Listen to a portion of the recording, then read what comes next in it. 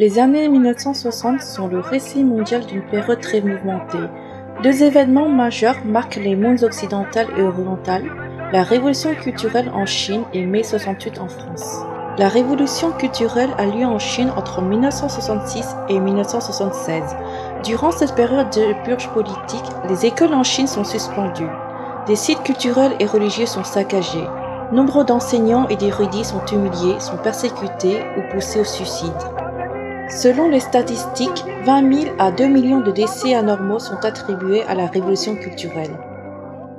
En 1968, on assiste en France à une convergence des grèves et des protestations des étudiants et des travailleurs basées sur leurs revendications sociales et leurs idées politiques. Le slogan des gardes rouges de la révolution culturelle devient l'idéologie des étudiants de mai 68. Au même moment, la Chine fait l'éloge des étudiants français.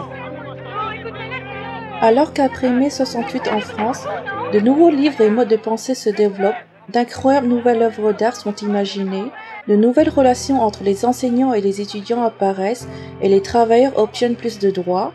En Chine, la révolution culturelle endommage le développement économique et culturel du pays pendant des décennies. Ainsi, il semble que mai 68 propose une vision plus réelle de la révolution culturelle.